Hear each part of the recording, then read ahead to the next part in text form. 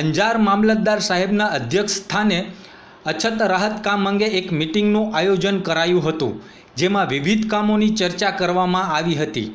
જેમાં બંને રાજકીય પક્ષોના આગેવાનો, અંજાર તાલુકાના તમામ ગામોના તલાટીશ્રીઓ તથા તાલુકા વિકાસ અધિકારીઓ પણ હાજર રહ્યા હતા, જેમાં ઘાસ ડેપો શરૂ કરવા ઘાસ વિતરણ કરવા તથા પશુદીઠ ઘાસનો યોગ્ય જથ્થો મળી રહે તે કામ બાબતે ચર્ચાઓ કરવામાં આવી હતી.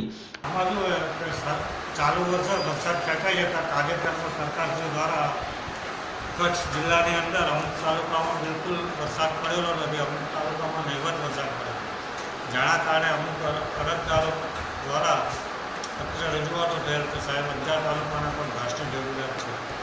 જેનું અમે વડી કચેરીએ ધ્યાન દોરતા તાત્કાલિક ધોરણે તાલુકાના અધિકારીઓ પદી- પદાધિકારીઓ અને તલાટીશ્રીઓની સંયુક્ત એક મિટિંગ બોલાવવામાં આવી હતી અને એમની રજૂઆતો સાંભળી અને અંજાર તાલુકામાં અંદાજે બાર તાલુકા, બાર ગામોમાં રાષ્ટ્રીય ડેપો ચાલુ તાત્કાલિક થાય તેવી એમની રજૂઆતો જે સાંભળી આ બાબતે હું વડી કચેરીનું ધ્યાન દોરી અને તાત્કાલિક ઘાસ મળી રહે એવા પ્રયાસો કરીશું. રિપોર્ટર ભરત ઠાકોર લોક ફરિયાદ ન્યૂઝ અંજાર.